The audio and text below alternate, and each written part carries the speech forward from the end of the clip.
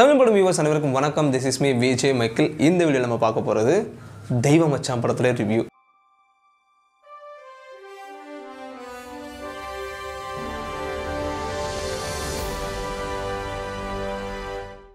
தெய்வ மச்சான் டேரக்டர் மார்டி நிர்மல்குமாரோட இயக்கத்தில் விமல் அனிதா ஆஹ் பாண்டிராஜ் தீபா பாலசரவணன் ஆடுகளம் நரேன் அப்படின்னு சொல்லி ஒரு மிகப்பெரிய நடிகர் பட்டணம் நடிச்சிருக்கக்கூடிய படம் தான். ஸோ விலங்கு சீரீஸ்க்கு அப்புறமா விமல் அவர்கள் வர்றாரு அப்படின்னும் போது கண்டிப்பாக ஒரு எதிர்பார்ப்பு வந்து மக்கள் மத்தியில் இருந்தது.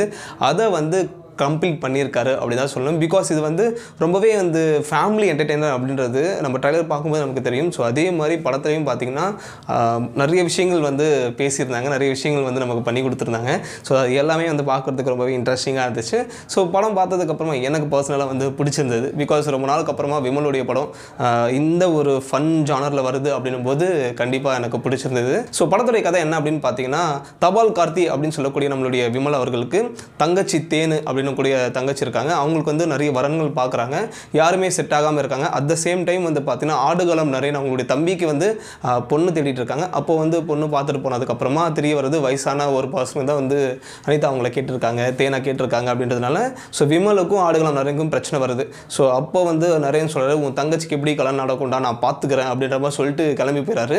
அதுக்கப்புறமா விமல் அவர்களுக்கு வந்து பார்த்தீங்கன்னா ஒரு ரேண்டம் கால் வந்து இந்த மாதிரி என்கிட்ட பையன் இருக்கா நீங்கள் வந்து பாருங்க அப்படின்னு சொல்கிறாங்க ஸோ அப்போ விமல் அவர்கள் வந்து பார்த்தீங்கன்னா போய் பார்த்துட்டு அந்த பையன் நல்லா பையன் தான் அப்படின்னு எல்லாம் விசாரிச்சதுக்கப்புறமா தங்கச்சிக்கு வந்து கல்யாணம் பண்ணி கொடுத்துடலாம் அப்படின்னு நம்ம பிளான் பண்ணி கல்யாண நாளும் வந்துடுது கல்யாணம் ஆகிறதுக்கு ஒரு நாளுக்கு முன்னாடி வந்து விமலுக்கு வந்து பார்த்தீங்கன்னா ஒரு கனவு வருது. இந்த ஒரு கனவு அவருக்கு சின்ன வயசுலேருந்து வந்துக்கிட்டே தான் இருக்குது ஸோ அப்படி இந்த ஒரு கனவுல என்ன நடக்கும் அப்படின்னு பார்த்தீங்கன்னா வேலா ராமமூர்த்தி அவர்கள் வந்து அவர் வந்து ஒரு விஷயத்த சொல்வார். இந்த மாதிரி உங்கள் பக்கத்தில் இருக்கிறவங்க யாராச்சும் இறந்துருவாங்க அப்படின்னு சொன்னாங்கன்னா அதே மாதிரி நடக்கும். அது அது இறந்தும் போயிடுவாங்க. அது விம்மலுக்கு வந்து ரொம்பவே ஷாக்கிங்காக இருக்கும். அதே மாதிரி கல்யாணத்துக்கு முன்னாடி நாள் வேலராமமூர்த்தி அவர்கள் அவருடைய கனவுல வந்து தங்கச்சி புருஷன் மச்சா இறந்துருவார் அப்படின்னு சொன்னதுக்கப்புறமா நம்மளுடைய விமல் அவர்கள் அவங்களுடைய தங்கச்சி ஹஸ்பண்டுக்கு எதுவும் ஆகாமல் அவரை எப்படி எந்த அளவுக்கு தாங்குறாரு அப்படின்றதா படத்துடைய கதை. ஸோ இதை வந்து சூப்பராகவே ரொம்ப இன்ட்ரெஸ்டிங்காக கொண்டு போயிருந்தார் மார்ட்டின் அவர்கள். ஸோ அவர் வந்து இந்த ஒரு இந்த ஒரு கதையை வந்து இதுக்கு முன்னாடி நாளைய இயக்குனரில் ஒரு ஷார்ட் ஃபிலிமாக எடுத்திருந்தாரு. அதுவே ரொம்ப சக்ஸஸ்ஃபுல்லாக இருந்து நிறைய பாராட்டுகள் கிடச்சிருந்தது. ஸோ அதை வந்து ரெண்டு மணி நேரம் நம்மளை உட்கார வச்சு சிரிக்க வைக்கிறாரு அப்படின்போது அதுக்குள்ளே எந்த அளவுக்கு இறங்கி ஒர்க் பண்ணும் அப்படின்றது சூப்பராகவே ஒர்க் பண்ணி கொடுத்துருக்காரு. அண்ட் செகண்ட் ஹாஃப் ஃபுல்லாகவே பார்த்தீங்கன்னா செம்ம காமெடியாக கொண்டு போனார். அது நீங்கள் படம் பார்க்கும்போது சிரிச்சுக்கிட்டே இருப்பீங்க. ஸோ அந்த ஒரு எக்ஸைட்மெண்ட் உங்களுக்கும் இருக்கும். அண்ட் ஃபஸ்ட் ஆஃப் ஃபுல்லாகவே பார்த்தீங்கன்னா ஹீரோட இன்ட்ரடக்ஷன் அந்த அவருடைய ஃபேமிலி ஸோ அவருடைய கனவு அப்படின்னு சொல்லி கொண்டு போயிருப்பாங்க. ஸோ செகண்ட் ஹாஃபில் வரும்போது விமல் அவர்கள் மாப்பிள்ளை எப்படி காப்பாற்றுற அப்படின்ற ஹிலரிஷான சீன்ஸில் ஆட் பண்ணி சூப்பராக கொண்டு போயிருந்தாங்க. அண்ட் பர்ஃபார்மன்ஸ் வைஸ் அப்படின்னு பார்த்தீங்கன்னா விமல் அவர்கள் ரொம்பவே சூப்பராக நடிச்சிருந்தார்.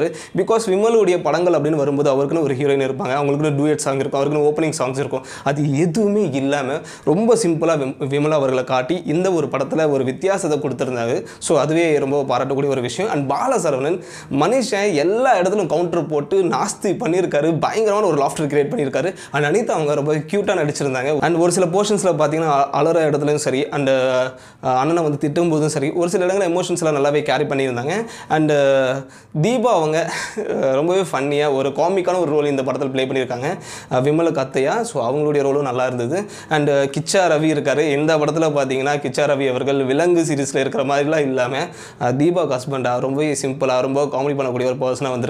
அதை தாண்டி ஆடுகளம் நரேன். ஸோ அவர் வந்து பார்த்தீங்கன்னா ஒரு வில்லனிக்காக ஒரு காமெடியான வில்லனிக்கா வந்து படம் பண்ணி கொடுத்துட்டு போயிருக்காரு. இந்த மாதிரி எல்லாருமே அவங்களுடைய பர்ஃபார்மன்ஸ் வந்து நீட்டாக கொடுத்துருக்காங்க.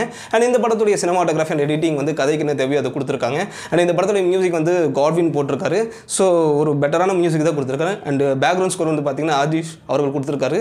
அவர் வந்து பார்த்தீங்கன்னா விலங்கு சீரிஸ்க்கும் மியூசிக் கம்போஸ் பண்ணவர் தான் ஸோ ஒரு டீம் ஒரு அவுட்புட் இப்படி தான் கொடுக்க முடியும் அப்படின்றத ரொம்ப அழகாக காட்டியிருந்தாங்க.